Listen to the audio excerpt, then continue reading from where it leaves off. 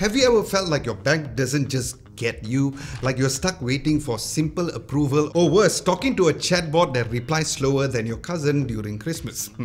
Well, what if I told you that the banks of the future will hire more people, but they're going to be digital employees called AI agents? And not just any agents, we are talking about an accelerator powered by Huawei called Fin Agent Booster or FAB, a full-on booster to develop AI agents for banks. Now, I just got back from Huawei's finance exhibition at the Huawei Connect 2025 in Shanghai where they've launched something that might just change how every bank operates. How? Well, here's my latest explainer video on the new Huawei Finance Explained. So let's first talk about what the Fin Agent Booster or FAB is all about. So this is built to help banks quickly deploy smart AI agents. How? With three main features, so let me break it down for you. Now feature one is easy to use aka plug and play for the banks. Now you can think of it like this. You know how when we cook, we usually use a recipe instead of just creating a dish from scratch, right? Well, it's the same over here because Huawei's FAB or FAB already comes with a ready-made templates for common banking use cases. This includes 50 plus workflows and 30 plus modular capabilities as well. So there is the credit approval, financial analysis, risk diagnosis and more. So instead of coding for months, the banks just need to configure a few things and boom, in a matter of weeks, the agent is ready to go. And these aren't just guesses because they are based on real workflows from top banks around the globe. Then feature number two is ready to use with MCP. So FAB or FAB uses something called MCP, which stands for Model Context Protocol. Now it sounds nice and fancy, but here's the point. It lets the AI agent talk to each other's system and external tools, like say your plugins for your phone. So if your AI agent needs to connect with financial database or a chatbot platform. So you don't need to build that so-called bridge because it's already there because of the Model Context Protocol or MCP. Then feature number three would be smooth to use with the end-to-end -end optimization. And here's the part that I personally found very impressive because Huawei is optimizing everything from app layer to server layer so the AI agent replies under 3 to 4 seconds because let's be honest, if it takes too long, people will get frustrated and I'm sure you will too. So they have done a comprehensive four layer optimization, the application layer, model layer, platform layer, and the foundation layer, all engineered to feel instant and responsive. So all in all, FAB or FAB isn't just about tech, it's about business value because Huawei's approach with FAB or FAB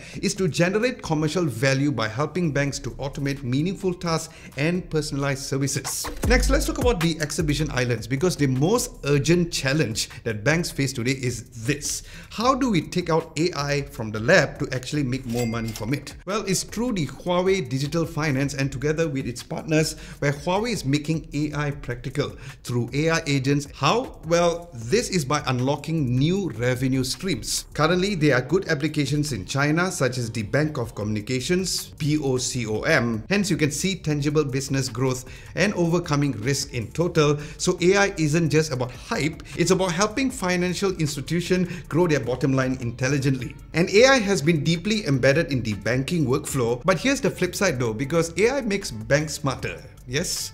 But it also makes hackers smarter. That is why Huawei is also showing the resilient ICT infrastructure across storage, computing and networks as well. So you can think of it like upgrading your home locks and alarm system built at the scale of an entire financial institution. This way, banks can protect themselves against next-gen threats, including AI-powered cyber attacks because let's face it, hackers are like that uninvited relatives. Once they find their way in, they won't leave easily, right?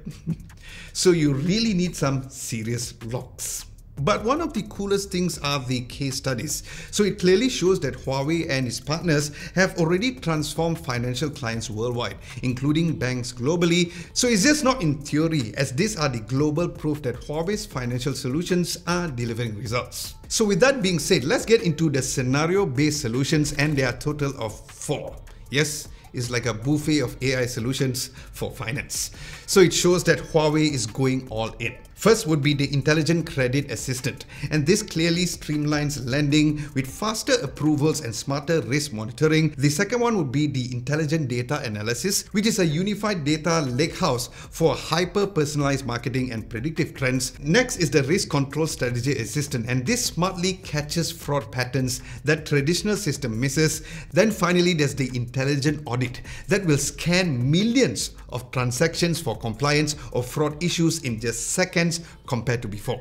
But the next solution takes it to a whole other level, and that is this, the AICC or AI Contact Center solution. Now this is powered by Huawei's Pangu large language model, as well as other LLMs commonly found in the industry, which takes all call centers and transform it into an AI-driven powerhouse. So imagine voice, video interactions, and 24-7 bots that never sleeps.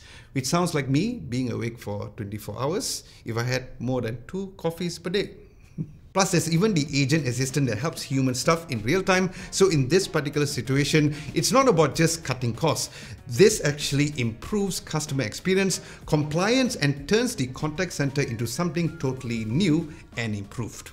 Then the final thing worth mentioning is that there was also a live demo of a high performance storage for computing and networking that was shown during the exhibition as well. So imagine all of this equipment handling millions of real-time financial transactions while the system does automated operations and maintenance in the background. And right beside it, there's also the high security sandbox at the exhibition area showing Huawei's multi-layer ransomware protection, which is now even upgraded to defend against quantum computing and AI-based attacks. So to sum all of this up, Huawei Digital Finance is showing us two things. First, that AI is actually usable to drive revenue. And second of all, Huawei also has the infrastructure to keep it safe in this new threat landscape as well, with proven global success cases and scenarios based on solutions. So Huawei is clearly positioning itself as a partner for financial institutions worldwide.